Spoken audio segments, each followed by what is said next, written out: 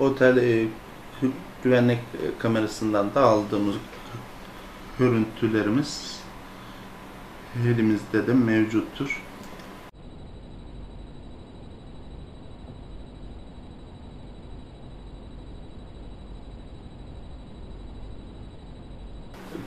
Gaga Grup şir- Şirketler Grubu'nun e, yönetim kurulu başkanıyım. E, ismim Has- Hasan Hüseyin Gaga. E, konuyla alakalı da bilgi almak amaçlı mür, e, müracaat ettiniz. Ben de basın özgürlüğünüze saygı duyduğumdan kabul ettim bu röportajı. E, on- 15 Temmuz e, gece yarısı başımızdan talihsiz bir olay geçti. E, merkezde bulunan Büyük Tur Oteli'nde yemek or- organizasyonundaydıktı o, o akşam. E, özel kullandığım şah- şahsıma ait aracımı oto, otoparka bı- bıraktım. E, oradan da saat e, 12.30 gibi ayrıldım ot- otelden. E, arabam otelde kalmıştı.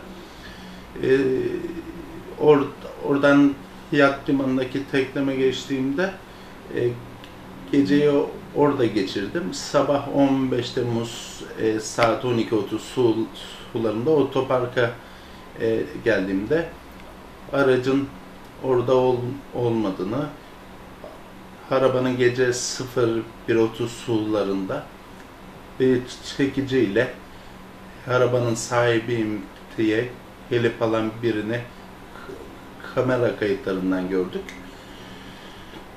Oradan e, şirket e, bünyesine ne ait meblağ da haraç kasasındaydı.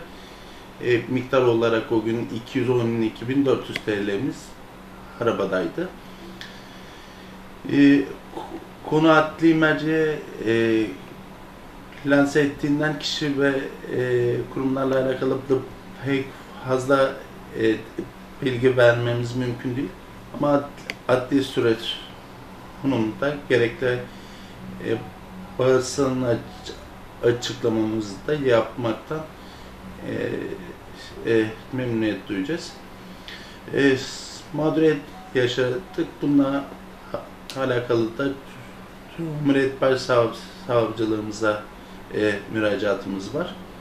E, otel yönetimiyle e, konuştuk. İyi niyetli e, olduklarından onlardan kaynaklı pek fazla mağduriyetimiz yok ama e, araç sahibi ol, olarak e, bilgimiz olması gerekiyordu. Onların da bir boşluk anında bu talihsiz olay meydana geldi. E, kaybımız maddi kayıp ol- olarak ciddi meblağımız gitti. Onun kayıtları mevcut. Tanıklarımız var. Onlarla alakalı adli süreç şu an devam ediyor. E, um, umarım gerekli e, işlemler kısa sürede hallolmuş olacak.